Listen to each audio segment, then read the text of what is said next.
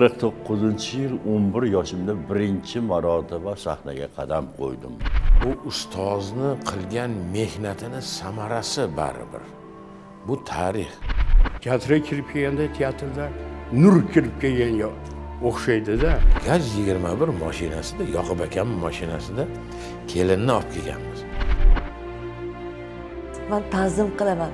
Buyuk inson men uchun yoqub ahmedov. Otelloni yoki gamletni o'ynashni havas qilmagan aktyor bo'lmasa kerak ustoz.